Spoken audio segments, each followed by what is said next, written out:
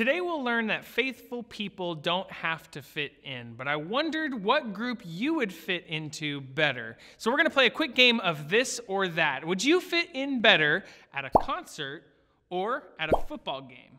Go to the side of the room that you would fit in better. Would you fit in better at a concert or a football game? Next up, would you fit in better at a restaurant that serves breakfast or would you fit in better at a restaurant that serves dinner? I know which one I would go to, but would you fit in better at breakfast or dinner? And lastly, would you fit in better at the movies, watching a movie and eating some delicious popcorn, or would you fit in better at the park flying a kite?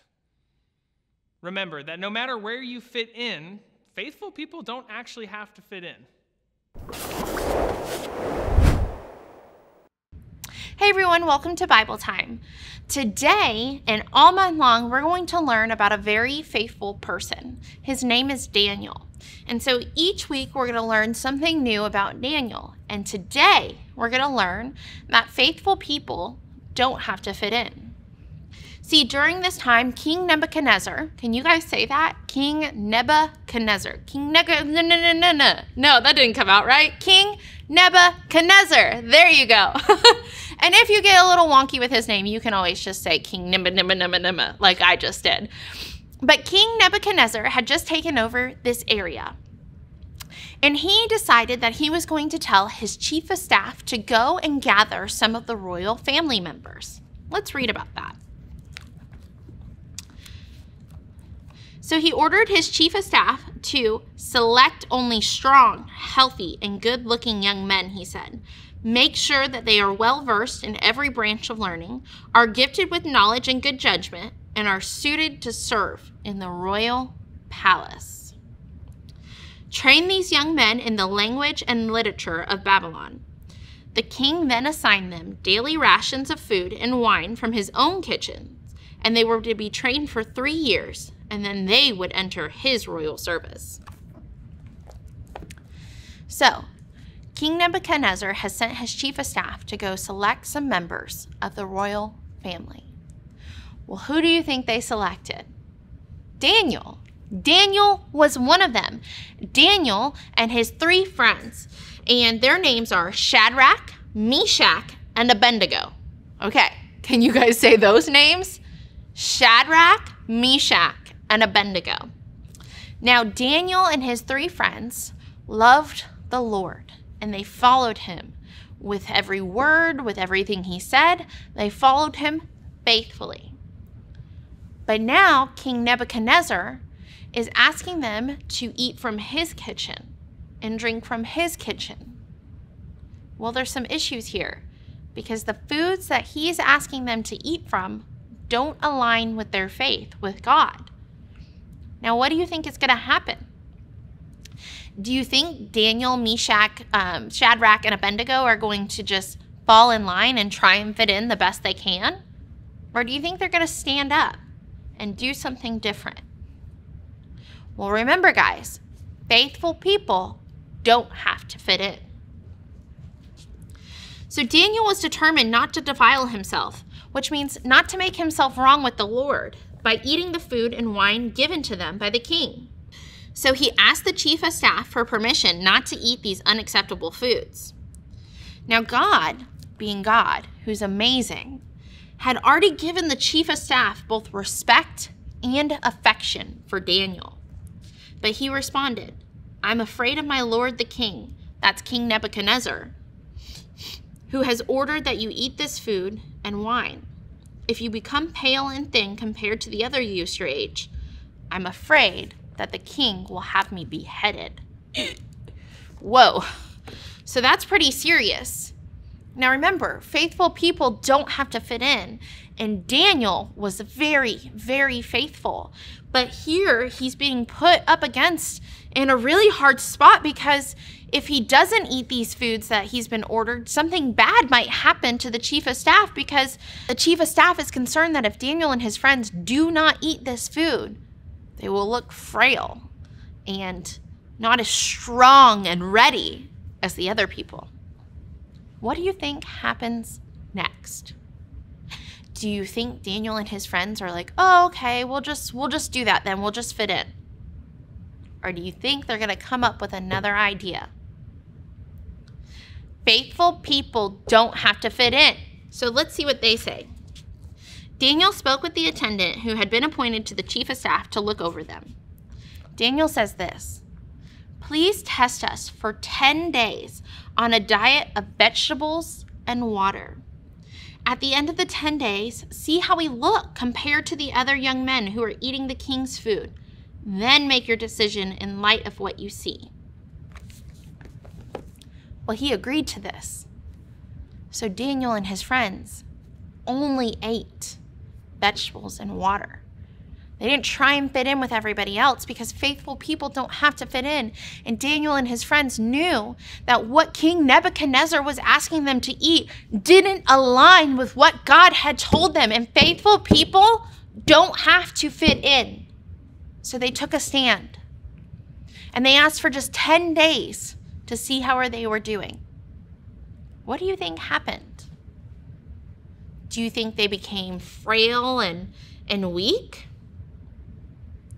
Or do you think God blessed them for not trying to fit in? Because faithful people don't have to fit in. Let's read and find out. God gave these four men an unusual aptitude for understanding every aspect of literature and wisdom. And God gave Daniel the special ability to interpret the meanings of visions and dreams. Wow. When the training period ordered by the king was completed, the chief of staff brought all the young men to King Nebuchadnezzar. The king talked with them, and no one impressed him as much as Daniel, Shadrach, Meshach, and Abednego. So they entered the royal service. What? was your mind just blown? Because mine was. King Nebuchadnezzar had told his chief of staff to only give these men food from their kitchen, to only give them wine from their kitchen. But instead of falling into place, instead of wanting and desiring to fit in, Daniel and his friends chose to stand up because they knew that faithful people don't have to fit in. So they chose to stand with God and what God had told them. And because of that, they were uniquely blessed. They were so great in comparison to all the other men who had just chosen to fit in. God blessed them. He blessed them in their endeavors and they entered into the royal service faithful people don't have to fit in. In fact, we see this happen again in the book of Matthew with Jesus. Let's read Matthew 8, verses 18 through 22. When Jesus saw the crowd around him, he instructed his disciples to cross to the other side of the lake. then one of the teachers of religious law said to him, Teacher, I will follow you anywhere. He's saying, Jesus, I'm going to follow you no matter where you go. But Jesus replied, Foxes have dens to live in, and birds have nests, but the Son of Man has no place, even to lay his head. Let's pause there for a minute. Jesus is saying here that it is hard to follow me. It's not always going to be easy. In this case, he's saying, I don't even know where we're going to stay. But for you and I, he's saying that this isn't the most easiest task. You can't just fit in with every group of people that you come across.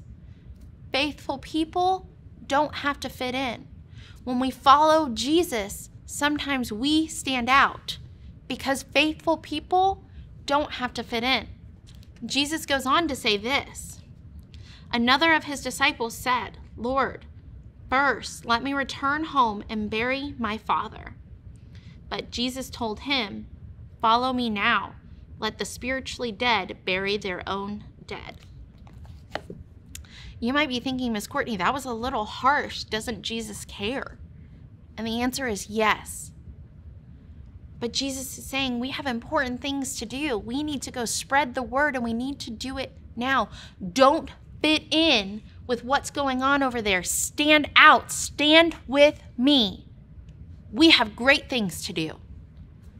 Faithful people don't have to fit in. I like today's story because it reminds me I don't have to fit in, especially if that means I'm not honoring God. Faithful people don't have to fit in. And it's really amazing to know that I can be myself and live a life that honors God. See, I am Brittany. Hi. And there's so many things I love to do. I love lounging on the couch and eating popcorn and watching TV. I love playing games outside with my friends. Oh, yeah! Maybe a little too competitively, but it's so much fun. There are so many parts about me that are silly, right? And creative. And smart. Look, I have a dinosaur. It's a T Rex. And amazing and awesome and honoring God every step of the way. But when I'm all of these things, and I'm doing all these things, and my actions start to kind of sway away from what God wants, there's a problem. If I'm watching TV, but I have to sneak around to put on a show that everyone's watching, but I know doesn't honor God, or if I'm playing with my friends and I have to kick someone out just so that I can keep playing and I can fit in, there's a problem. This world is broken sometimes. And me changing myself to try and fit into all of those pieces doesn't fix the world. I'm not God. Only He can fix the world. That's why all of my actions should be honoring Him. When I am choosing to be faithful, I don't have to fit in because faithful people don't have to fit in.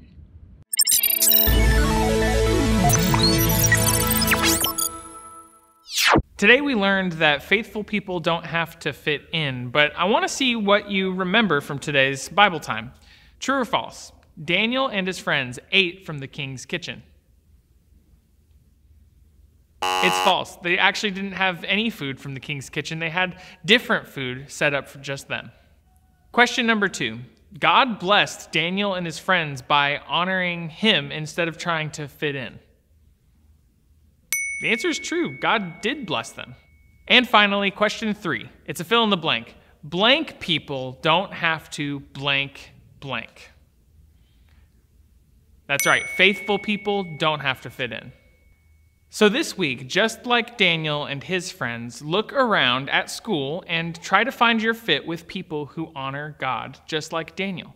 That means they might not cross the lines that you think ought not to be crossed. It means that they spend time celebrating what God has done. It means that they're even willing to have conversations about God. Find your fit with people who honor God because remember, faithful people don't have to fit in, but there are people who honor God that could be your friends. Hey everyone, this song is called We Are the Ones. Get your hand in the air like this and celebrate with us. We are the ones that stand for God and change the world. And then sweep it like this, take it low. Whoa. Let's do it one more time. We are the ones that stand for God and change the world. Whoa.